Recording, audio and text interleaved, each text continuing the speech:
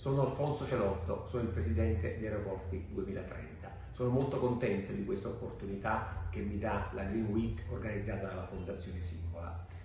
Aeroporti sostenibili. Può sembrare un ossimoro mettere accanto queste due parole, una totale contraddizione, e invece noi come associazione stiamo cercando di portare avanti proprio quest'idea, che gli aeroporti possono dare uno sviluppo sostenibile. Questo oggi è indispensabile perché la tutela dell'ambiente, i diritti delle generazioni future, la sostenibilità sono un quadro che devono portare anche il sistema aeroportuale a una diversa visione, in maniera che anche gli aeroporti siano green. Come? Con l'utilizzo di nuovi carburanti, con l'utilizzo di nuovi aerei, con un maggior utilizzo delle nuove tecnologie e dei nuovi carburanti dell'elettrico a terra. Quindi, quindi serve una grande alleanza di settore perché tutti gli operatori del sistema aeroportuale devono contribuire a fare questo, a rendere sostenibili gli aeroporti. Nella nostra associazione abbiamo il gruppo Sale, quindi Venezia e gli altri aeroporti del nord-est, e ADR, gli aeroporti di Roma. Sono due dei maggiori gestori aeroportuali che hanno investito proprio su questo, sulla innovazione e sostenibilità e addirittura nell'ultimo quinquennio miliardi di euro su questo settore. Quindi per noi come associazione siamo davvero di fronte a un obiettivo importante, vogliamo contribuire con tutto il modello e tutto il sistema per rendere gli aeroporti più sostenibili. Tematiche internazionali eh, e internazionali per ovvie ragioni, tanto più se si parla di aeroporti. Eh, si svolge in una città, Parma, che è una città molto attenta ai temi della sostenibilità, sappiamo che in città c'è anche un dibattito sull'allargamento delle piste, de, de dell'aeroporto locale e così via, ma proprio per evitare di portare questo dibattito su una dimensione locale e cercare anche di aiutare eh, la comunità di questa bellissima città che eh, ci ospita e alla quale da Veneto sono anche ormai affezionato, abbiamo scelto come dire, di fare una discussione con grandi, piccoli e medi player del settore aeroportuale in maniera tale da offrire una prospettiva eh, che sia ampia. Stiamo cominciando con qualche minuto di ritardo e i tempi sono stretti, gli ospiti autorevoli, per cui Ringrazio Marco Panara che conduce e presenterà gli ospiti e eh, ruberà due minuti a testa per recuperare gli otto minuti di ritardo. Ce la faremo, ce la faremo. Grazie Filiberto, buongiorno, benvenuti a tutti.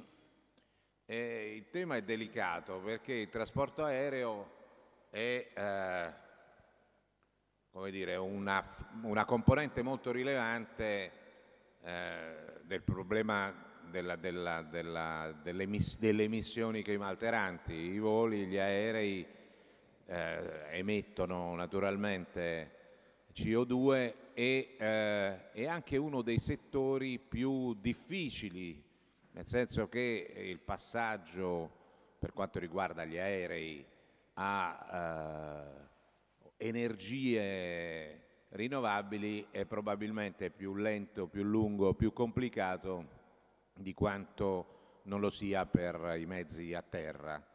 Eh, però il trasporto aereo si, c'è la parte che vola naturalmente e poi ci sono queste complesse macchine che sono i sistemi aeroportuali, che sono appunto delle macchine molto articolate, molto complesse, che eh, movimentano milioni di persone e eh, quantità molto importanti di merci e sono esse stesse, eh, in quanto appunto attività, attività che eh, impattano l'ambiente, lo impattano da tanti punti di vista, lo impattano dal punto di vista ambientale, eh, quindi per quanto riguarda le emissioni, l'uso dell'energia, ma anche per quanto riguarda il territorio. Eh, sono molto grandi, gli aeroporti sono delle strutture, delle infrastrutture molto grandi che hanno del, un sistema diciamo, che influenza in qualche modo a, uh, con, con, le comunità locali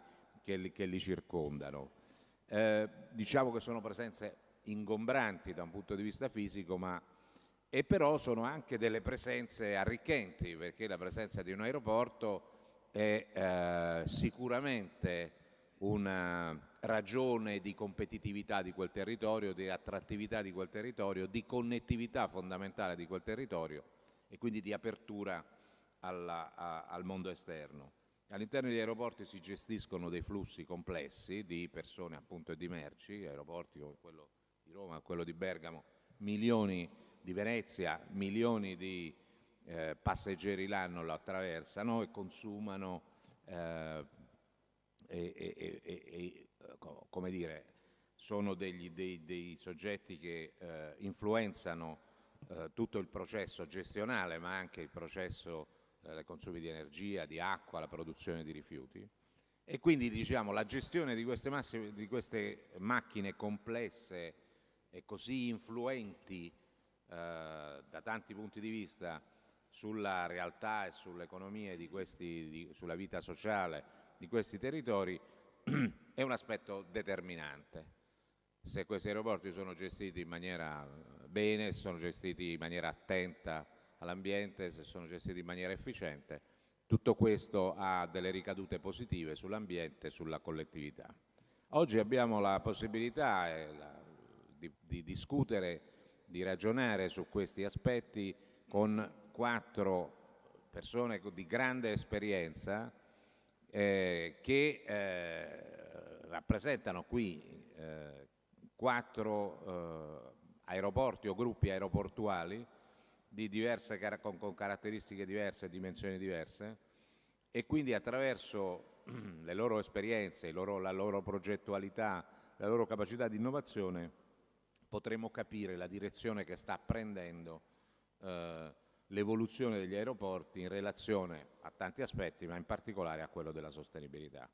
Io comincerei con eh, Marco Consalvo, che è qui alla mia sinistra, che è l'amministratore delegato dell'aeroporto di Trieste, che è il il più piccolo di quelli di, cui, eh, di, quali parleremo oggi, ma è un aeroporto interessante, molto, molto interessante, perché è il più recentemente privatizzato, quindi eh, ha, ha uh, una gestione privata da 4 anni, 5 anni? 2019. Da, da 3 anni, quindi recentissimamente, e anche perché ha avviato una serie di uh, iniziative, di progetti eh, molto interessanti. E quindi direi a uh, Marco di cominciare lui nostra, uh, questo nostro incontro. Grazie. Qua si preme qui, come si fa? No, no, penso che funzioni. Ah, già funziona così. Sì.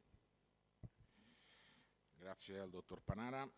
Sì, l'aeroporto di Trieste è un piccolo aeroporto regionale del Friuli Venezia Giulia che, eh, il cui azionista storico è sempre stata la regione Friuli Venezia Giulia e nel 2019 a seguito di un percorso di privatizzazione è entrato nel gruppo F2I o nel fondo F2I che è uno dei più grossi fondi, anzi è forse il più grosso fondo in termini di eh, gestori aeroportuali che, eh, che partecipano in questo fondo.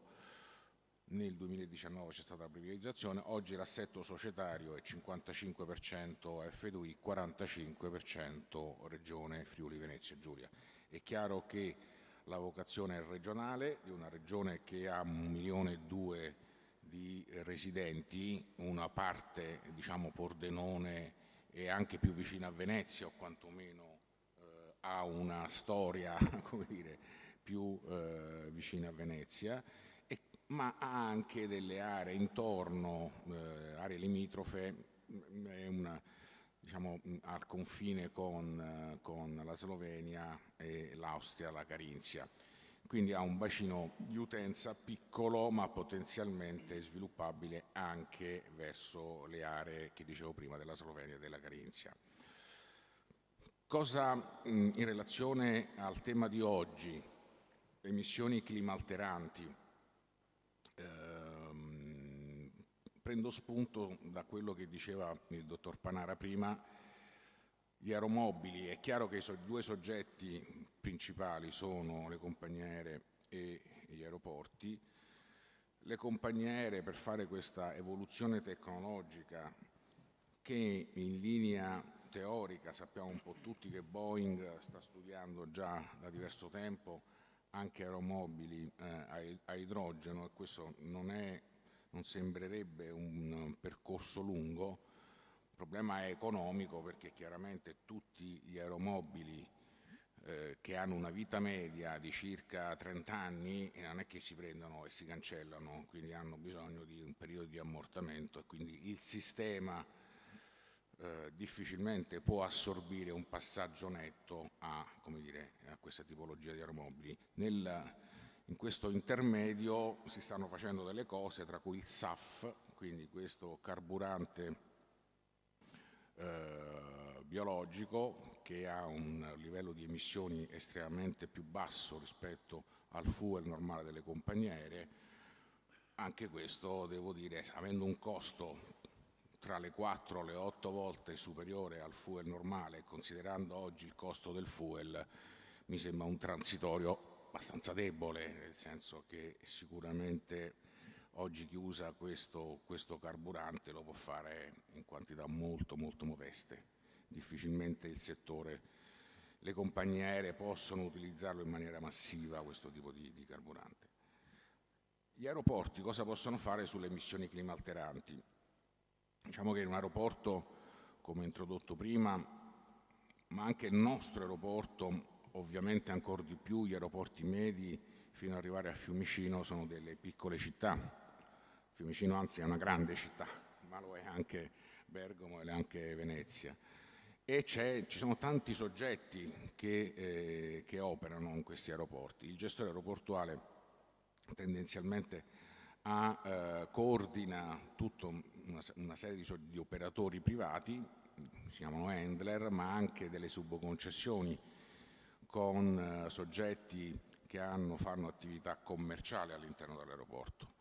Quindi vi dico questo perché un primo step che tutti gli aeroporti su cui stanno ragionando è quello di trasformare le emissioni diciamo, provenienti da ehm, da ehm, fonti fossili in fonti rinnovabili. Questo, questa trasformazione ovviamente in questo primo step si immagina di eh, coprire il fabbisogno energetico elettrico trasformando questo fabbisogno energetico elettrico da fonte fossile a fonte rinnovabile. Però appunto ci sono negli aeroporti tanti soggetti cui, che, che operano, quindi non è solo il gestore aeroportuale con i suoi consumi, ci sono anche i consumi di tutti gli operatori. Una proporzione tendenzialmente è molto come dire, media, poi ci sono aeroporti che si differenziano tra di loro e che considerando solo il gestore, cioè il, il consumo di un aeroporto in termini energetici, diciamo termini elettrici raddoppia se si, se si somma a quelli del gestore tutti gli operatori che operano in aeroporto, dagli handler agli enti di Stato, a tutto il mondo che circola all'interno dell'aeroporto. E poi c'è un terzo step, che è quello tendenzialmente finale, è i passeggeri, cioè come arrivano in aeroporto e gli aeroporti stanno sempre più trasformandosi in eh, punti multimodali con eh, gli accessi alle rete ferroviarie e con eh, anche i sistemi bus che stanno eh, evolvendo o quantomeno c'è una previsione di trasformazione a bus a idrogeno. Questi sono i tre step in cui eh, gli aeroporti si stanno muovendo, chi più e chi meno. Trieste ha un progetto, un progetto estremamente interessante, al di là che è collegata dal 2018 alla rete ferroviaria con una stazione che si chiama Trieste Airport. Il terminal dell'aeroporto è collegato a questa stazione da un bridge, da una passerella con dei tappeti mobili so, che è sopraelevata che scavalca una statale e quindi questo è, è dire, un investimento davvero importante sia per l'ampliamento della catchmentaria ma soprattutto in termini diciamo, uh, green. Eh, per il primo step che raccontavo prima, prima, noi siamo in fase di progettazione esecutiva di un impianto fotovoltaico da 3 MW, che per le nostre dimensioni è tanto.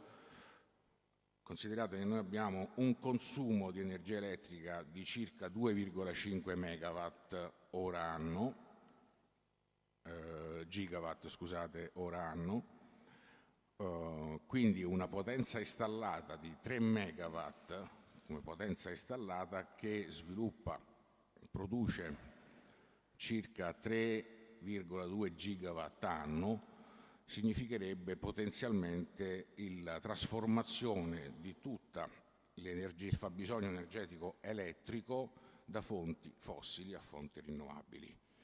In realtà non riusciamo a fare questo 100%, noi da questo impianto con, tra l'altro sono dei pannelli fotovoltaici a cui eh, verranno installati anche delle batterie, un sistema di batterie, quindi di stoccaggio di energia, perché il problema grosso è lo stoccaggio dell'energia elettrica, che ci consentirà di, eh, la produzione sarà di 3,2 gigawatt ora anno e riuscire, riusciremo a utilizzarne ehm, 2 gigawatt, 2,1 gigawatt l'anno, il resto lo metteremo sostanzialmente in rete. Okay. Però questo sarà un, dire, uno step, lo realizzeremo circa fra un anno, la previsione è ad aprile del 2023, questo ci consentirà una trasformazione dei nostri consumi energetici da fossile a rinnovabili, quindi da fotovoltaico, per il 76%. Altra cosa che segnalo, e spero di essere rimasto nei, nei termini tre minuti. tre minuti, sono le comunità energetiche. Lo segnalo perché ovviamente con la crisi in Ucraina il problema energetico si è, mm, dire, è esploso per tutti e il governo attraverso dei decreti ha, eh, c'è un'evoluzione di queste comunità energetiche. Il DL, il decreto legge 50 del 17 maggio del 2000 di quest'anno, è in fase di conversione, quindi a 60 giorni per la conversione. Devo dire, noi abbiamo proposto, poi con Assi Aeroporti, non so se Emilio è arrivato in direttivo questo, eh, c'è una previsione nell'articolo 9 che le autorità portuali come, ehm, come ehm, militari la, possono costituire i sedimi ovviamente delle aree militari, possono costituire delle comunità energetiche con le deroghe anche alla potenza installata. Oggi è la legge che, diciamo, ultime, gli ultimi decreti prevedevano fino a un megawatt di potenza installata. Le autorità portuali e, ehm, come dicevo prima, possono derogare.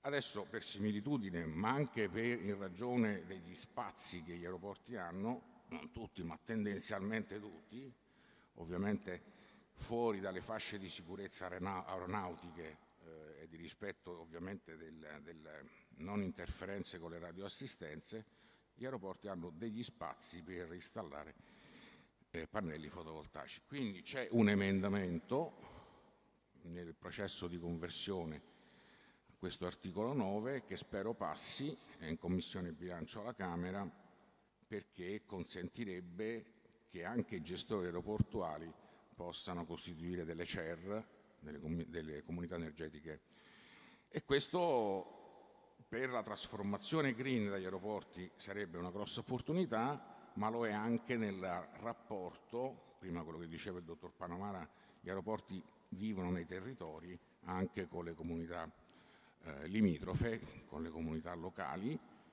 eh, perché la percezione poi degli aeroporti come degli inquinatori nel tempo è migliorata, ma in ogni caso in alcune circostanze è ancora abbastanza forte. Grazie. Grazie Marco, questa, questa, cosa delle comunità energetiche mi sembra molto interessante, speriamo che questo emendamento passi, che la lobby di Aeroporti sia efficace in questo caso perché oltre a appunto gli aeroporti hanno degli spazi immensi che possono essere destinati alla produzione di energia pulita, ma effettivamente può essere uno strumento di rapporto, di relazione, di miglioramento delle relazioni con il territorio molto significativo.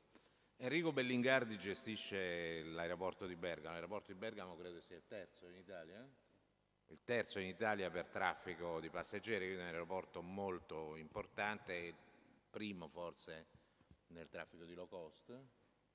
Eh, Ryanair ha uno dei suoi hub a Bergamo e quindi un'esperienza particolarmente significativa e quindi chiederei adesso ad, Enrico, ad Emilio di presentarci un attimo le strategie di questo aeroporto sulla strada della sostenibilità. Volentieri, buongiorno a tutti, sono Emilio Bellingardi, direttore generale dell'aeroporto di Bergamo Rio Serio. Non vengo dal mondo della consulenza, però ho chiesto di farmi aiutare da quattro slide perché voglio essere un attimino preciso. Chiedo di passare alla seconda.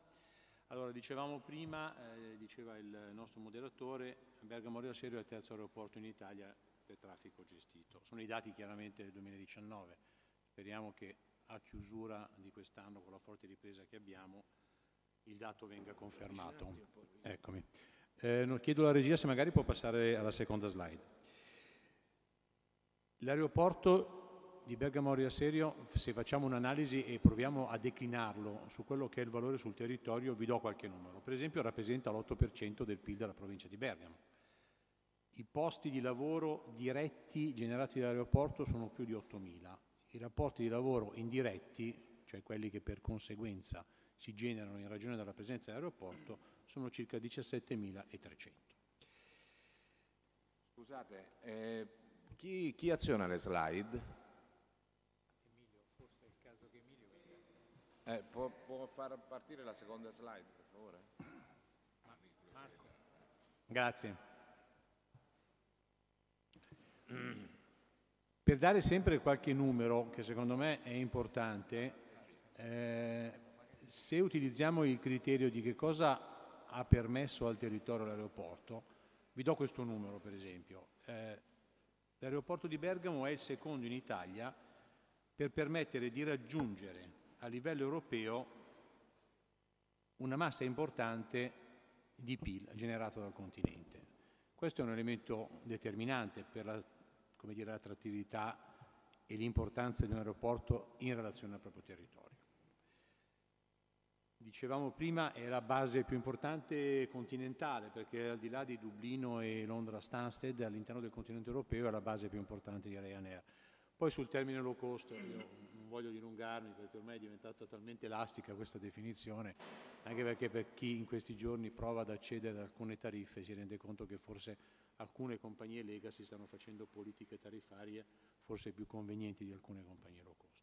Però detto questo, nell'aeroporto di Bergamo Ria Serio operano 21 compagnie aeree, 145 sono le destinazioni e 37 sono le nazioni servite.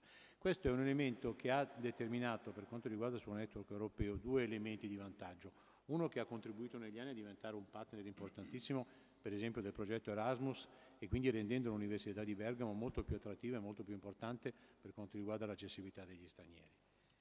Ma eh, soprattutto ha permesso una ripresa veloce dopo eh, la crisi legata alla pandemia.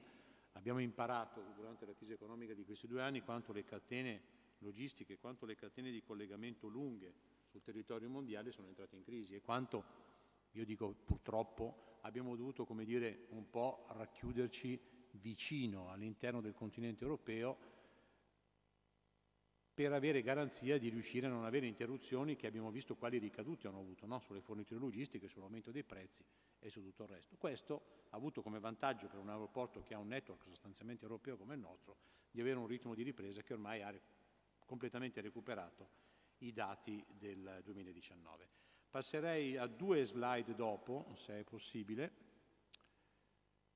sempre per parlare dell'efficienza eh, dell'aeroporto. È chiaro che abbiamo ehm, una situazione di contesto urbano abbastanza complesso, però questo ha, come dire, anche un, un lato opposto della medaglia.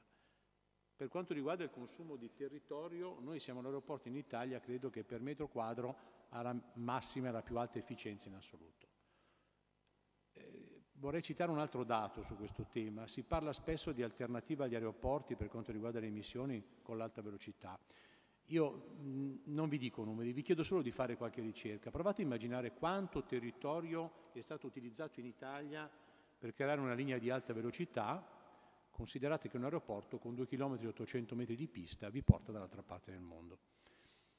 Questo insieme ai numeri reali su quanto cuba all'interno delle emissioni legate al trasporto il sistema del trasporto aereo è un'altra narrazione falsa sul quale anche qua io non vi do numeri. Siete ragazzi giovani, avete una capacità di utilizzo di ricerca di sistemi importanti, andate a fare una ricerca accurata e scoprirete quanto effettivamente il trasporto aereo cuba in relazione al totale delle emissioni legate ai trasporti.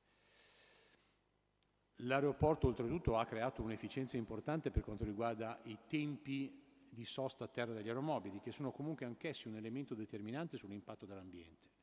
Tempi di turnaround veloci, servizi legati alla possibilità di girare, come si dice in termini tecnici, una macchina in 35 minuti, determina chiaramente una riduzione importante di emissioni anche dei mezzi di rampa, dei mezzi di assistenza aeromobili, che sono anch'essi un elemento sul quale stiamo lavorando in partnership con le aziende produttrici dei mezzi di assistenza a terra per una riconversione completa, ma anche su progetti che proprio in questi giorni stiamo iniziando a guardare con attenzione per capire come è possibile anche rivedere completamente la modalità di ricarica di questi mezzi e da dove e da quali tipo di fonti energetiche attingere per la ricarica di questi mezzi. In più abbiamo svolto il nostro dovere, il nostro dovere fino in fondo, che non è stato facile, vi assicuro, in questo biennio di pandemia lavorare su due elementi di continuità importanti. Uno, la conservazione delle, proprie, delle nostre forze e dei nostri collaboratori. Lavorare in aeroporto eh, richiede certificazioni complesse che se si perdono sono difficili da recuperare. Quindi è chiaro che abbiamo fatto investimenti anche in termini di conservazione di posti di lavoro. È vero che c'era lo strumento della cassa integrazione, ma la si poteva modulare, cioè provare a fare anche un investimento. Quando a febbraio l'aeroporto ha cominciato a riprendere, ma probabilmente le risorse non erano saturate, abbiamo deciso non solo di farli rientrare tutti, ma di riprendere una formazione importante su come riprendere confidenza con le attività aeroportuali. Questo tutto sommato, devo dire, ci ha premiato perché oggi leggete su tutti i giornali quali difficoltà si dibattono gli aeroporti in Europa, questo è dovuto sostanzialmente a due cose. Primo perché fuori dall'Italia non esistono alcuni istituti come la Cassa Integrazione, quindi i gestori importanti europei si sono trovati a un certo punto costretti a eh, dire, perdere alcune risorse. Noi invece abbiamo avuto questo strumento, anche se, ripeto, l'abbiamo usato molto poco. L'altra cosa che abbiamo fatto, con una certa difficoltà nel convincere i miei azionisti, e continuare negli investimenti. Io lavoro da un po' di anni in questo settore, credo ormai da 42-43, e quindi di crisi improvvise ne ho viste molte nel trasporto aereo, ma tutte le volte si è verificata la stessa cosa. Appena finito il momento di crisi, la domanda è cresciuta in modo impetuoso.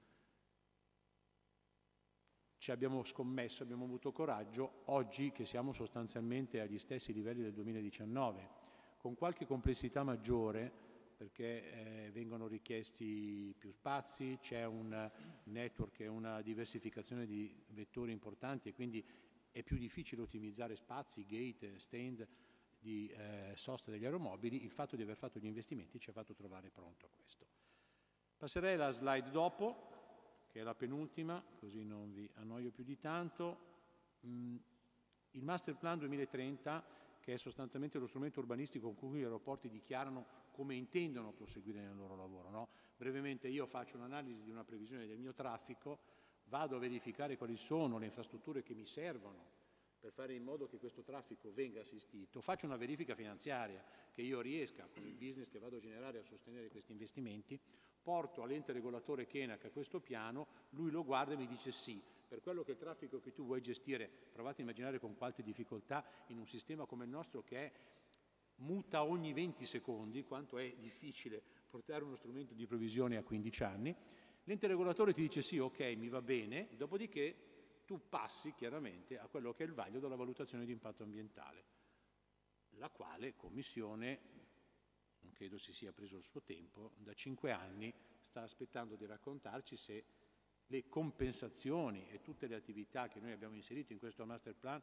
che vi assicuro sono importanti, il master plan 2015-2015, stiamo ancora aspettando, 2030, contiene pochissime volumetrie, contiene, contiene soprattutto compensazioni, cioè aree verde che verranno utilizzate per rendere l'aeroporto più eh, coerente e più accettabile nel suo contesto. Iniziative come l'insediamento di allevamenti di api. Abbiamo lasciato in un territorio, in un terreno che abbiamo acquisito a nord del Sedime, un coltivatore di api che permette di continuare la sua attività ma poi abbiamo anche fatto qualcosa per rendere l'aeroporto più accessibile e più performante sotto l'aspetto energetico. Intanto l'accessibilità sul ferro, come diceva Consalvo, l'accessibilità e l'intermodalità è diventato un elemento indispensabile per gli aeroporti. Le rinnovabili, abbiamo una solar farm a servizio dello scalo che al termine delle sue installazioni porterà un risparmio di circa 500 tonnellate all'anno di CO2.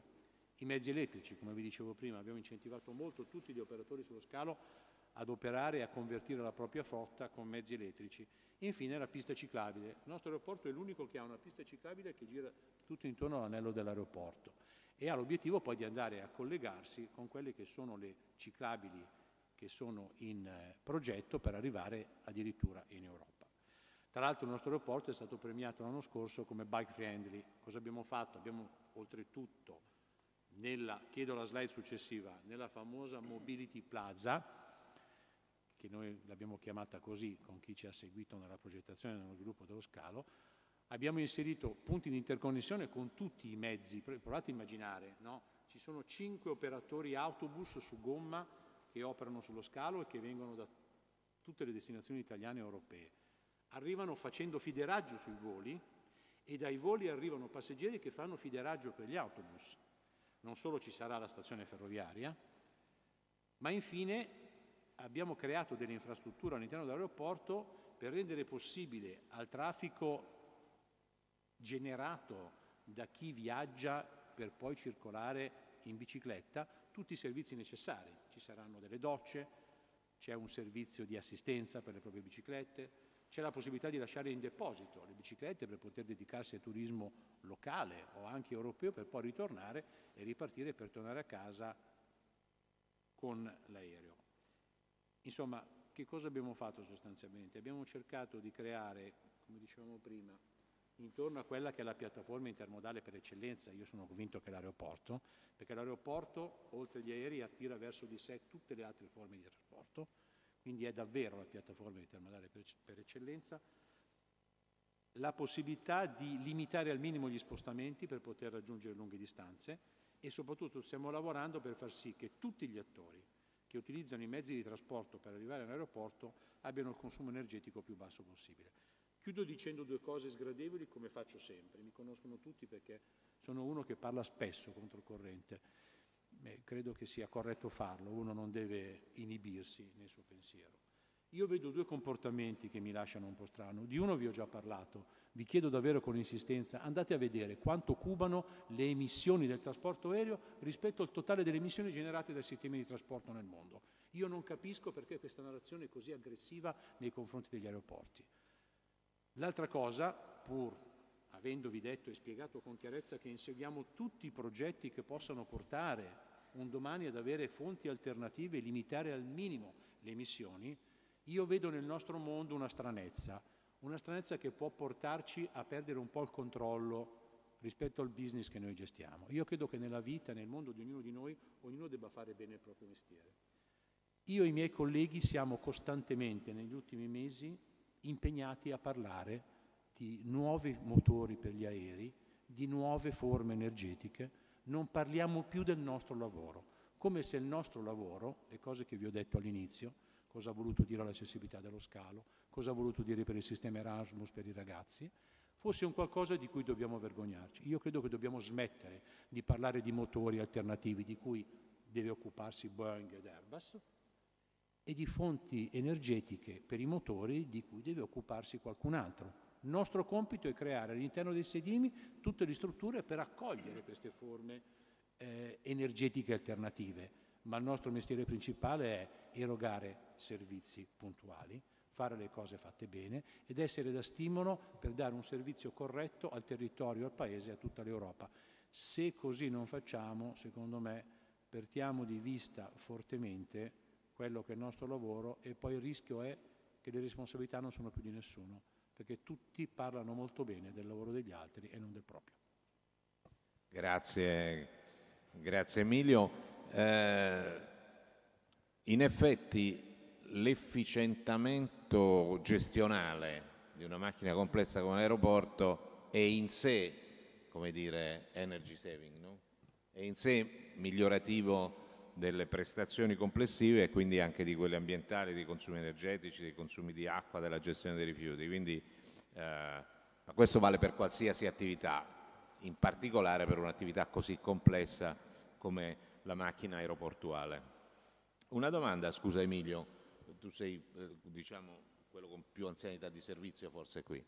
La, mm, il sistema aeroportuale italiano, nella tua proiezione, diciamo, secondo la, tu dici ogni crisi poi abbiamo avuto un aumento di traffico molto rilevante. Il sistema aeroportuale italiano, nella sua configurazione attuale, è sufficiente a sostenere il traffico futuro o no?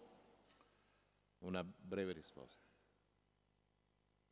Sì in termini quantitativi, no in termini qualitativi e di sistema. Quindi vuol dire che il numero di aeroporti è sufficiente, ma devono essere... Devono essere ottimizzati, eh, è necessario che l'intermodalità raggiunga tutti gli aeroporti, è necessario che si faccia qualcosa di serio e di importante per il traffico del nord Italia e per il traffico merci. Noi siamo un paese manifatturiero, importiamo, trasformiamo ed esportiamo. Noi siamo il paese che ha la più bassa accessibilità cargo in tutto il continente europeo. Grazie. Questo poi chiederò a, a Davide Bassano perché loro gestiscono un aeroporto cargo, quello di Chiari, che, che, che progetti ci sono.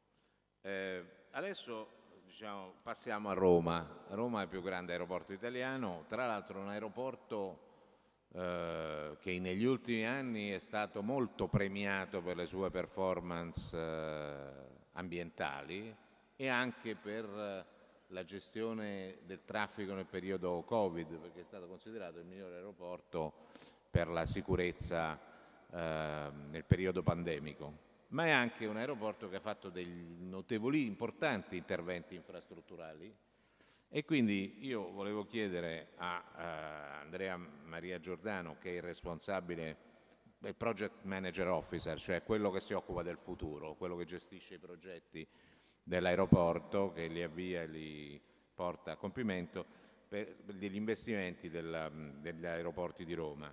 Ecco, questo aeroporto grande, una vera città, eh, credo che ci abbia quasi 50 milioni di passeggeri l'anno, 40? Sì, sì, 43 milioni nel 2019. 43 milioni di passeggeri l'anno utilizzano questo aeroporto. Eh, la strategia di sostenibilità dell'aeroporto, questa è la prima cosa che ci interesserebbe capire, che cosa ha fatto e cosa sta facendo, come si è meritato questi, questi riconoscimenti. La seconda cosa, nell'ampliamento eh, infrastrutturale, l'argomento sostenibilità come è stato interpretato? Cioè questi nuovi manufatti, eh, in che logica la, sono stati progettati tenendo conto, sono stati utilizzati materiali diversi, cioè in che senso sono più up to date dal punto di vista della sostenibilità. Questi sono i due temi che mi interesserebbe sentire e poi naturalmente eh, il tema dell'intermodalità e, della, e delle partnership che un aeroporto di quelle dimensioni ha con altri operatori importanti Ok, grazie innanzitutto di avermi invitato in questo consesso eh, veramente importante. Eh, diciamo che i driver di sostenibilità sul quale il nostro aeroporto sta puntando sono essenzialmente legati a uno sviluppo sostenibile inteso anche come pianificazione e quindi sviluppo delle infrastrutture, secondo degli ulteriori driver che sono lo sviluppo brownfield, ovvero uno sviluppo su se stesso dell'aeroporto, Conseguentemente noi non, nel nostro piano di sviluppo, che adesso è ancora una parte lo stiamo realizzando, una parte in corso di, di istruttoria, stiamo prevedendo tutte infrastrutture che essenzialmente si sviluppano su loro stesse. Ci siamo chiesti perché dobbiamo andare all'esterno, proviamo a vedere se riusciamo a andare in continuità con le attuali aerostazioni e cerchiamo di capire se eh, diciamo, eh, ci possono essere degli elementi che in qualche modo eh, rendano eh, sostenibile anche il nostro sviluppo. In questo senso eh, quindi abbiamo, siamo andati a, a, a partire appunto da trovare quelle che sono le infrastrutture che effettivamente, sapete, un aeroporto si rigenera su se stesso, quindi anche nell'innovazione e nelle continuità ha uh, degli aspetti che sono da, um, da rigenerare e quindi da rivedere quindi il nostro piano di sviluppo si baserà e si sta basando su demolizioni e quindi le demolizioni stesse che poi porteranno allo sviluppo delle infrastrutture che si costruiscono laddove andiamo a, a demolire degli edifici, portano di per sé eh, diciamo un riutilizzo dei materiali e conseguentemente anche una progettazione che partendo da questo mira a una strategia di progettazione che, sono, eh, che, è legata alla certificazione, alle certificazioni protocolli ambientali che sono i più, ehm, diciamo, i, i più riconosciuti.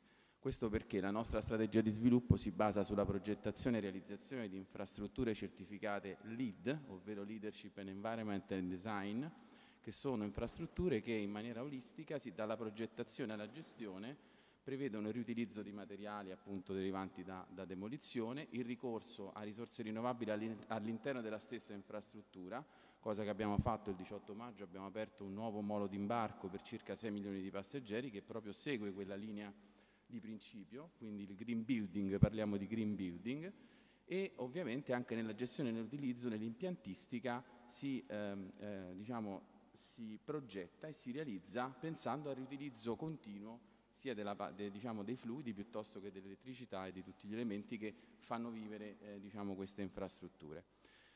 Elemento molto molto importante che ho sentito anche, anche, prima è il territorio. Noi siamo partiti col nostro piano di sviluppo cercando di capire dove ci trovassimo e soprattutto sapendo quali sono le caratteristiche, i punti di forza e i punti di debolezza del nostro territorio. Oggi Fiumicino giace su una riserva naturale, una parte di una riserva naturale, ma pensate che giace anche su quelli che sono i vecchi porti imperiali del, di Roma, quindi c'è una parte dell'aeroporto proprio che avrete modo di vedere che ha eh, delle, degli affioramenti archeologici che sono proprio il molo del porto di Claudio e di Traiano, che erano appunto il nodo intermodale del passato. Con questo principio e con le frammentazioni che ci sono all'interno di un territorio diciamo fragile ma allo stesso tempo che appunto presenta queste opportunità, siamo andati a capire che come l'aeroporto potesse fare da collante a queste eh, e soprattutto come potesse generare valore non solo per l'aeroporto di per sé ma anche per il territorio. Che cosa abbiamo, sostanzialmente siamo andati a capire eh, tra, le varie, eh, tra le varie situazioni ovviamente anche le fragilità legate all'accessibilità perché ovviamente anche noi abbiamo un piano di sviluppo che traguarda al 2046 circa 88 milioni di passeggeri, quindi il doppio, di quello che abbiamo oggi e ci siamo fatti insomma, tantissime domande per cercare di, di, di portare i passeggeri eh, appunto all'aeroporto, ma non solo i passeggeri ma anche gli utenti. Pensate che la comunità aeroportuale di Fiumicino oggi vede circa 40.000 persone al giorno con un indotto, sentivo prima i numeri che più o meno mi tornano perché poi sono tutti fattori moltiplicativi, alla fine arriviamo a circa 180.000 persone, insomma l'aeroporto genera eh, tantissimo, eh, tantissimo, lavoro per tutto quanto quello che è il litorale romano e quello che è il, diciamo la, anche la, la, stessa Roma in qualche modo. E eh, ovviamente anche qua sempre come driver di sviluppo siamo andati perciò a trovare il modo di capire come nostra eh, mh, come potessimo in qualche modo far accedere i passeggeri all'aeroporto cercando anche di soddisfare le esigenze del litorale. E quindi siamo andati a studiarci attraverso dei monitoraggi continui, degli studi continui tutto quello che era l'accessibilità e la mobilità degli scali, andando a fare con, attraverso diciamo, delle partnership che poi vi dirò, una serie di, di azioni. Il nostro piano di sviluppo oggi prevede circa 8 miliardi di investimenti che eh, ovviamente sono eh, legati a, a, a, dei key performance indicator della sostenibilità. Perché? Perché per poterlo attuare ci siamo rivolti alla finanza sostenibile quindi abbiamo fatto un'emissione di Green Bond nel 2020 e di Sustainable Linked Bond nell'anno successivo che ci aiuta sostanzialmente a misurarci rispetto ai key performance indicator legati alle emissioni di CO2 eh, che ogni anno dobbiamo consuntivare e rendicontare per far sì appunto di poter collocare e avere appunto la finanza per poter fare questo piano, per poter eh, realizzare il nostro piano investimenti. Poi ci siamo chiesti, ma ci sono dei partner eh, nazionali, dei player di, di, rilievo ai quali ci possiamo rivolgere per poter arrivare a questo obiettivo di, di sostenibilità che per noi è avere net zero carbon al 2030, quindi con 20 anni di anticipo rispetto altri, alle altre realtà di settore? Assolutamente sì e abbiamo instaurato una serie di partnership. Parliamo di Eni per quanto riguarda le partnership sul Sustainable Aviation Fuel, che ho sentito nominare chiaramente da, dall'aeroporto di Trieste e che abbatte sostanzialmente le emissioni e auspichiamo che sia diffuso ovviamente il più possibile, come diceva Bergamo, ovviamente noi forniamo i servizi e quindi cercheremo, cercheremo, ci sarà qualcuno che poi dovrà agevolare l'utilizzo di questi Sustainable Aviation Fuel. Ad oggi abbiamo due voli giornalieri, anche con la collaborazione con ITA, Roma-Venezia e Roma-Barcellona che eh, utilizzano questo tipo di, di, carburante, speriamo che sia ancora più, più, diffuso. Poi abbiamo una partnership con Enel, Enel in particolare, dove anche lì abbiamo eh, sostanzialmente, ehm, stiamo progettando un sistema Pioneer di storage delle batterie derivanti dall'automotive che ci consente di accumulare energia collegarla a due solar farm che dobbiamo fare da circa 30 MW ciascuno accanto alle piste, cosa che qualche anno fa era impensabile diciamo, dal punto di vista anche normativo, e che in qualche modo eh, aiuta a raggiungere eh, diciamo, una sorta di ehm, autosufficienza energetica per arrivare appunto a questo obiettivo del, eh, delle emissioni zero al, al 2030. Oltre, vi cito queste partnership perché per noi sono veramente importanti, perché aver legato eh, le, le, diciamo, la, la, mh, eh, le, eccellenze italiane da questo punto di vista con noi ci ha, ci ha portato veramente mh, molto valore.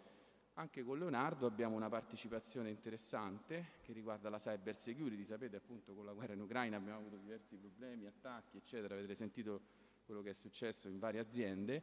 E anche lì ci, ci stiamo eh, sostanzialmente supportando e eh, in un certo qual modo con Leonardo stiamo anche andando avanti con quella che è la Urban Air Mobility, che forse ne avete sentito parlare, che stiamo vedendo anche con, con il gruppo Save, dove sostanzialmente stiamo eh, investendo su una nuova forma di mobilità che è quella dei taxi droni su Fiumicino e su, appunto, sul, tras- sul, trasporto da Fiumicino alla città e che nei prossimi anni ci vedrà sempre più protagonisti anche con una partnership con Volocopter che è un'azienda tedesca che ha uno dei primi aeromobili droni, taxi droni certificati, li sta certificando. Ultima ma non meno importante la partnership con FS, con il gruppo Ferrovie dello Stato. Sentito parlare di intermodalità, l'intermodalità è un pilastro della sostenibilità, ormai non si può più ragionare pensando che, che l'aeroporto è fine a se stesso, ci si arriva con la macchina e basta, e finisce lì con gli autobus al massimo e basta. È la piattaforma intermodale per eccellenza, perché eh, sostanzialmente eh, in sé ha tutte le forme di mobilità e, eh, e tutte le forme di scambio e sostanzialmente è eh, l'intermodalità nella sua accezione più ampia, la, noi la vediamo in, in, diverse, in, diverse, accezioni. L'eccezione infrastrutturale, quindi dei, stiamo portando avanti con FS dei progetti di sviluppo dell'accessibilità con raddoppio della, della, stazione ferroviaria da 3 a 5 binari, perché per poter arrivare a quel net zero carbon 2030 abbiamo bisogno di raddoppiare i passeggeri che oggi vengono in aeroporto con il treno e gli utenti, perché non parliamo solo di passeggeri ma parliamo anche di utenti, quindi di utenti aeroportuali, me e eh, i miei colleghi che sostanzialmente siamo sempre 40.000 che si spostano ogni giorno più l'indotto, quindi insomma, è veramente una città di medie dimensioni. Uh, quindi noi auspichiamo e, e, cerchiamo di andare avanti con, ripeto, con le ferrovie, con ANAS, con, mh, attraverso una rete di trasporto a basso impatto, che abbia anche l'aspetto dell'innovazione al suo interno, quindi ehm, parliamo anche di intermodalità commerciale e di customer journey, un'esperienza del passeggero che deve partire dalla stazione Termini piuttosto che da Napoli, piuttosto che da Firenze con un treno, arrivare a Fiumicino e avere già tutte le peculiarità del viaggio da Napoli fino a New York, cioè alla fine del viaggio. Quindi è un'esperienza che cerchiamo di, di stiamo costruendo con il gruppo FS per, per fare in modo che insomma, anche quei collegamenti che oggi sono sotto le due ore e mezza, di cui forse avete sentito parlare, che la comunità europea in qualche modo ha, ha, ha dato un'indicazione che se è possibile i collegamenti sotto le due ore e mezza è meglio farli con l'alta velocità, ovviamente eh, mh, su, questo, su, questa parte ci stiamo lavorando. Eh, ultimo, ultimo, elemento, eh, noi abbiamo tre, in, tra i nostri pilastri abbiamo appunto la sostenibilità, la qualità sulla quale non mi soffermo perché insomma abbiamo avuto eh, per cinque anni consecutivi l'Airport Service Quality piuttosto che eh, insomma, diversi premi, ma ripeto questo è frutto eh, di, eh, sostanzialmente di un lavoro fatto molto, in maniera molto certosina, eh, di, ognuno di noi ha eh, nel proprio interno, mira sostanzialmente all'eccellenza. Faccio un esempio banale, voglio fare giusto per poi, poi mi taccio perché forse sto andando un po' lungo, però un esempio che mi piace fare. Noi quando vediamo una mattonella all'interno dell'aeroporto che ha una cricca o un'incrinatura, ognuno di noi, tutti, qua, tutti i dipendenti aeroportuali si fermano, guardano e, cioè, e, e chiamano e dicono questa mattonella è assolutamente da sostituire. Lo farebbe, insomma, non, non è detto che lo facciano tutti, ma eh, il principio qual è? Che noi sentiamo l'aeroporto talmente come casa nostra che se vediamo una mattonella che è rotta ci sentiamo come se fosse del nostro bagno, insomma, tanto per fare un esempio molto, molto, molto diciamo, eh, vero. No? Eh, l'ultima, l'ultima cosa riguarda, ripeto, un altro pilastro è l'innovazione.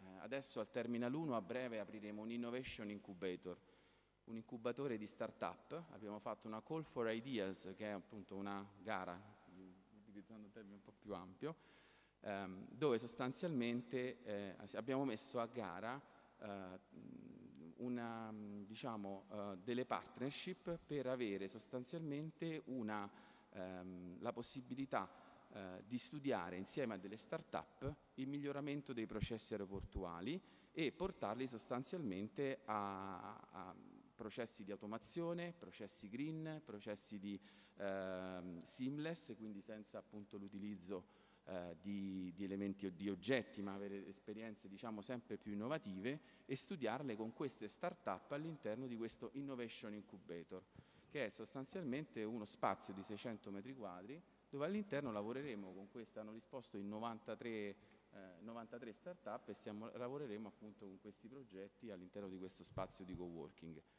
Ci sono tantissime cose da dire, mi fermo perché sennò qua... Grazie, no, effettivamente io mm, amo molto l'aeroporto di Fiumicino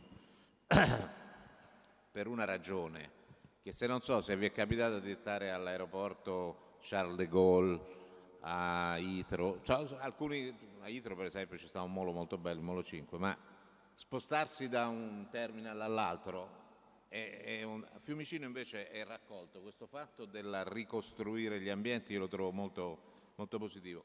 Avevo dimenticato di, di, di, commentare un aspetto di quello che aveva detto Emilio precedentemente. La politica di eh, gestione del personale di Bergamo ma degli altri aeroporti italiani è diventato un fattore competitivo europeo. Oggi andare a Schiphol è una eh, tragedia, si fanno delle file sterminate perché questi hanno dovuto licenziare molti dipendenti, adesso non riescono a ritrovarli e questi aeroporti non stanno funzionando. No, c'è una cosa che ci tengo a dire perché i ragazzi sentono e anche il pubblico.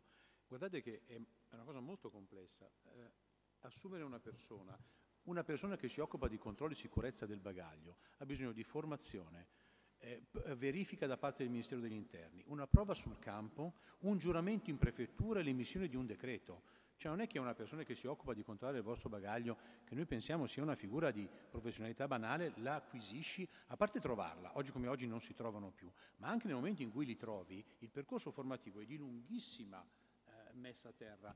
Con la crisi che c'è in questo momento e la ripresa che chi ha vissuto le altre crisi doveva prevedere e doveva pianificare, è stato un disastro. Per un gestore aeroportuale come Schiphol, chiedere di cancellare i voli in una compagnia aerea, credo che sia, io dico sempre al mio Presidente, sentito. io do le dimissioni piuttosto. Provate a immaginarvi una compagnia aerea che ha sue problematiche, immediatamente sposta al faro e dice io li ho cancellati per colpa tua, adesso mi paghi i danni, i negozi degli aeroporti, i passeggeri.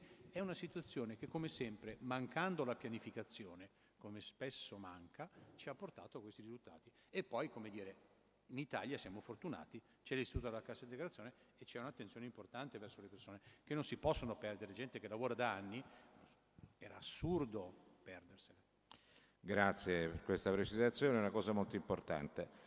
Eh, Save eh, è un gruppo aeroportuale, eh, cinque aeroporti, eh, provo a elencarli se non, se non, sbaglio, Venezia, il più importante, Treviso, eh, Verona, Chiari e eh, Charleroi. Quindi ha una proiezione internazionale importante, un aeroporto importante, credo anche un progetto di allargarsi ulteriormente oltre confine. E Davide Bassano è il direttore ambiente e sostenibilità del gruppo, quindi lui ci può dare una chiave diciamo, anche di sinergie, anche di diffusione delle best practice e oltre, eh, avendo, gestendo un aeroporto che è specializzato nel cargo come quello di Chiari, ci può dare anche un insight su quello, sulle tematiche, le problematiche più della logistica, della logistica merci. Sì, allora, ehm, come anticipava Marco, eh, la società è un gruppo, sono cinque aeroporti, eh, quattro sul territorio nazionale, principalmente basati nell'area nord-est del paese e eh, Charleroi che è il secondo aeroporto in Belgio fa 8 milioni di passeggeri. Ehm, le acquisizioni dei vari gestori e la distribuzione sul territorio ci ha permesso di lavorare eh, in termini aeroportuali come sistema, come network e ogni sito aeroportuale ha eh, individuato e sviluppato la sua specializzazione.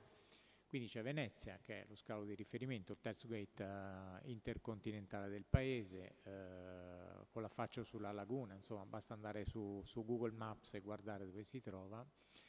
C'è Treviso vicino, tutte le principali compagnie che lavorano sullo scalo di bandiera e intercontinentali atterrano e partono da Venezia, aeroporto che consente a milioni di viaggiatori di vedere la città storica, un esempio mirabile appunto che si affaccia sulla laguna.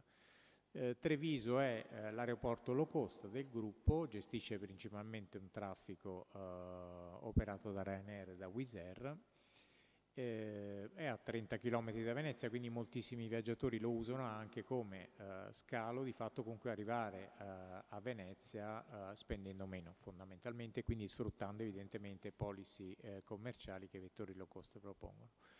Verona è uno scalo eh, principalmente charter, eh, in una posizione strategica perché è un crocevia di eh, comunicazioni verso est, verso ovest, nord e sud, vicinissimo anche a un'area industriale di connessione eh, intermodale per merci importante e eh, è sicuramente in una posizione che offre moltissimo interesse, il Garda, la Verona stessa e molte, e molte altre località interesse come dire, ludico, culturale e, eh, e, di svago. E poi c'è Brescia, che ricordava Marco. Brescia è eh, la parte cargo del gruppo, mm, è eh, l'aeroporto di Montichiari eh, e lì abbiamo deciso di sviluppare il cargo. In realtà c'è cargo anche a Venezia, eh, solo che non è cargo ca quello che chiamiamo il cargo, ma il cargo sono le merci che vanno nelle pance degli aeromobili che trasportano passeggeri. Quindi per dare dire, una possibilità al gruppo di sviluppare anche traffico cargo, Brescia, che è un aeroporto che ha delle condizioni ambientali favorevoli, e, e qui il, dire, il gancio con la sostenibilità, perché l'aeroporto cargo lavora di notte e quindi gli aeroplani cosa fanno? Caricano durante il giorno, di notte partono, arrivano agli aeroporti di destinazione e di giorno distribuiscono le merci. Quindi atterraggi e decolli di notte fanno rumore, disturbano e quindi l'aeroporto cargo deve essere in un posto che ha delle caratteristiche intorno all'aeroporto e del territorio che consentano di fare questa attività. L'aeroporto di Montichiari ha queste caratteristiche, in mezzo al nulla di fatto, eh, ha sicuramente delle facilità aeroportuali che, che, hanno un respiro per poter essere sviluppato e quindi come gruppo, sempre in questa sinergia e questo network di sfruttare e massimizzare le varie infrastrutture, eh, si è deciso dire, di sviluppare eh, la parte cargo del gruppo lì. Ehm, questo sistema, ecco, tornando al tema della sostenibilità, ci ha consentito anche in realtà di sfruttare le specializzazioni dei singoli aeroporti. Quindi anziché allargare, quindi consumare suolo, metri quadri, volumi, cemento, eh, di eh, razionalizzare sfruttando al massimo quelle che sono le possibilità che i, gli aeroporti che già esistono e funzionano consentono di dare con le specializzazioni che vi dicevo. Ehm, qualche considerazione personale perché vedo che il tempo corre e eh, che volevo in parte condividere, insomma sono tutti giovani quelli qui, quindi è giusto anche parlare degli aeroporti e della sostenibilità in termini più generali. Le cose che i colleghi prima di me hanno citato le facciamo anche noi, recupero dell'acqua, pannelli fotovoltaici, recupero dei rifiuti, sono tutte prassi ormai standard che gli aeroporti da tempo fanno, perché gli aeroporti disturbano, fanno rumore e questo lo fanno da quando esistono. Quindi come dire, il tema ambientale per contenere, limitare e, e, e diminuire quelli che sono gli aspetti ambientali negativi lo fanno da molto tempo, perché altrimenti non esisterebbero il tema del rumore della fine degli anni 90, i primi anni 2000 su Malpensa e tutto il quadro normativo che è uscito sul rumore e il, continuo combattimento che peraltro io stesso faccio anche contro i comitati anti-aeroporto, per via del rumore sono attività che, che portano i gestori aeroportuali a riflettere e essere sensibili sui temi ambientali, ma questo da tempo, non da quando si parla di sostenibilità. Quindi adesso parlando di Venezia, mi viene in mente parlando con voi, Venezia è su un'area tra le più tutelate del paese, di fronte alla laguna di Venezia, cioè esiste un vincolo archeologico, tutela paesaggistica, eh, è in fregio alla laguna addirittura la commissione di salvaguardia che esiste da secoli è deputata ad autorizzare i progetti sull'aeroporto. Quindi tutte queste condizioni portano i gestori aeroportuali, non solo ovviamente quello di Venezia e del gruppo Save, ma anche quelli degli altri aeroporti, a confrontarsi con questi temi. Quindi è nelle corde degli aeroporti il tema della sostenibilità. Io spesso con i miei figli ho discussioni infinite ogni volta che partecipano a un Friday for Future perché dicono tu che lavori in aeroporti inquini, tu sei il male, noi moriremo tutti per colpa tua, perché gli aeroporti inquinano. Allora in parte è vero, è inutile negarlo.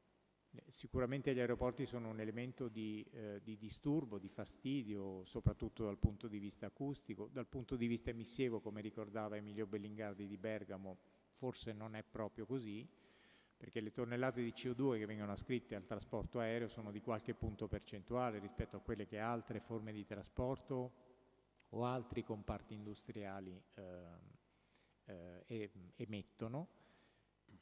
Indubbiamente però ognuno deve fare la sua parte. E quindi con i miei figli, che sono tre, discussioni, quindi sono anche in minoranza tra le altre cose, discussioni infinite su questa cosa.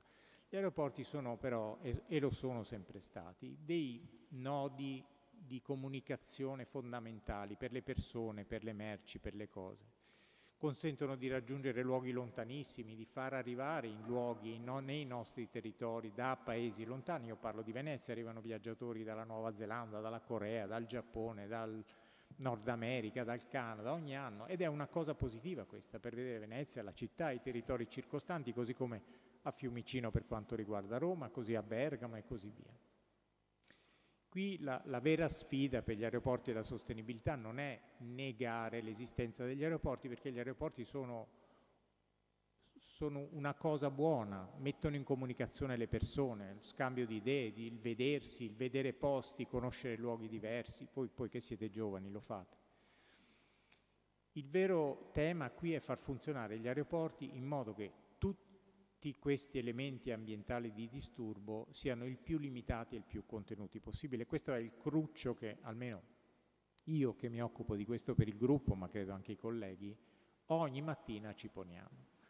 Alcune cose vengono fatte e sono fatte. E, e, credo anche che rispetto ad altri contesti industriali e di altro tipo, gli aeroporti forse siano anche un po' più avanti rispetto a, ad altre situazioni, per quello che vi dicevo prima, perché la storia per, per gestire questi elementi e questi eh, fattori esogeni ambientali parte da, da, da più indietro. Ci sono altri temi sicuramente come quello dell'energia che sono un po' più complicati da risolvere. Peraltro non sono limitati al solo aeroporto, non preponderanti. Considerate che in termini emissivi un aeroporto emette 10-12% del bilancio carbonico emissivo del sedime aeroportuale. L'87-85% sono della parte aeronautica, gli aeroplani. Come ricordava prima Giordano di ADR, anche noi abbiamo un gruppo di lavoro con Airbus e con SNAM, su cui stiamo lavorando da mesi, e che ha avviato proprio Airbus. Questo è interessante perché? Perché Airbus cosa fa? Arriva negli aeroporti e dice ok, io adesso cosa faccio? Oggi Airbus si rifornisce con diesel, Jet A1, domani mh, se vuole diminuire le, emissioni, le sue emissioni deve trovare combustibili non fossili e quindi il tema dell'idrogeno. E quindi Airbus quando atterra in un aeroporto cosa fa? Si aspetta che l'aeroplano venga rifornito con dell'idrogeno e quindi ci stiamo spaccando la testa per capire come dentro all'aeroporto far trovare l'idrogeno che agli aerei Airbus, ma anche a Boeing e alle altre compagnie, gli consenta di rifornirsi e ripartire per portare i viaggiatori a zero emissioni verso nuove destinazioni. Ehm, questo tema è abbastanza complicato perché l'idrogeno è senz'altro una forma di energia di combustibile molto interessante, richiede molta energia perché spaccare la molecola dell'acqua eh, richiede molta energia, il legame dell'acqua è uno dei più stabili che c'è e quindi oggi si è nella condizione paradossale di utilizzare energia per produrre idrogeno a un livello di efficienza bassissimo e non particolarmente produttivo e spesso utilizzando combustibili fossili, quindi un paradosso. Da questo punto di vista ci vuole del tempo, non è un percorso facile, ci sono dei vincoli anche tecnici, tecnologici eh, che credo, insomma, ingegneri, io sono ingegnere quindi mi appassiona anche questo tema, eh, riusciremo a risolvere come è stato fatto in molti altri casi però indubbiamente quello della transizione energetica rispetto ad altri temi per quanto riguarda gli aeroporti è in questo momento di grande cambiamento uno insomma, dei temi forse più importanti e nodali e fondamentali. No, mi veniva in mente che con tutti gli spazi che hanno gli aeroporti potrebbero utilizzare quegli spazi per, per produrre l'energia pulita, per fare l'idrogeno green, diciamo, ma questo si vedrà nel tempo. Eh, scusa, eh, Davide, volevo chiederti una cosa, eh, siamo veramente alla, agli ultimissimi minuti. tu come responsabile eh, della gestione ambiente del, del, gruppo Save, probabilmente sei la persona che interloquisce con, eh, la, con la comunità. Che tipo di, chi sono i tuoi interlocutori? Che tipo di relazioni ci, so, ci sono con le associazioni? Non lo so, chi sono e come riuscite a parlarvi, diciamo? Allora sì, sono proprio io personalmente, incontro, allora le interlocuzioni col territorio avvengono su due piani fondamentalmente, ci sono interlocuzioni con enti istituzionali, sono gli enti con cui approviamo i progetti, li illustriamo, li discutiamo, li miglioriamo grazie anche al loro contributo e queste interlocuzioni sono eh, su principalmente temi tecnici. A Venezia ne abbiamo moltissimi, parlo di Venezia perché forse è il caso più complicato dei diversi aeroporti, ehm, soprintendenza, paesaggio, verde, consorzio di bonifica per quanto riguarda la sicurezza idraulica, abbiamo di tutto di più. Devo dire sono sempre molto buoni, collaborativi. Da parte degli enti e delle amministrazioni l'aeroporto è una risorsa, è un asset, quindi ha interesse perché lavori bene e, e si sviluppi e funzioni bene. Poi c'è l'altra parte, quella un po' più diciamo colorita, no?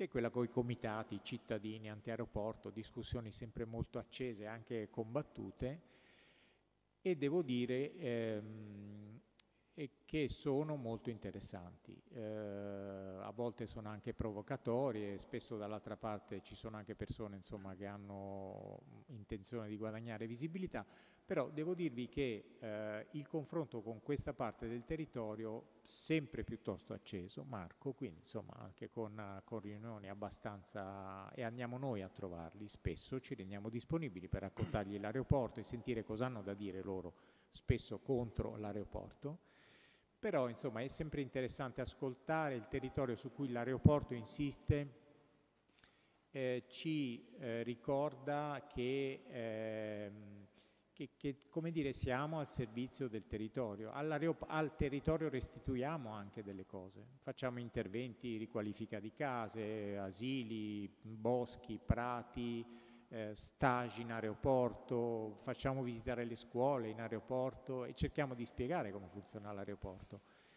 E, ehm, Peraltro devo dire che gran parte delle persone che lavorano in aeroporto e anche abitano nei territori limitrofi e circostanti lo apprezzano, insomma è un sistema complesso da lavoro, eh, consente di, eh, di, di, di ricevere viaggiatori, di scambiare idee, di comunicare. Quindi al di là di quella che è la iniziale, come dire, riluttanza e contrasto, se si ha la pazienza di superare questo momento, di solito la, eh, la partecipazione, la condivisione con questi comitati auto spontaneamente costituiti, autocostituiti, è sempre molto utile e interessante. Molto bene, una cosa importante questa di poter di ascoltare, eccetera. Abbiamo sentito delle esperienze eh, interessantissime, secondo me, credo che ne usciamo con più informati sulle problematiche e anche sulle soluzioni che sono messe in corso. Purtroppo non abbiamo tempo per uh, le domande, però io volevo ringraziare voi per averci ascoltato e naturalmente Emilio, Marco, Andrea e Davide per essere stati con noi e aver condiviso con noi le loro competenze e le loro esperienze. Grazie a tutti. Una cosa che mi veniva in mente.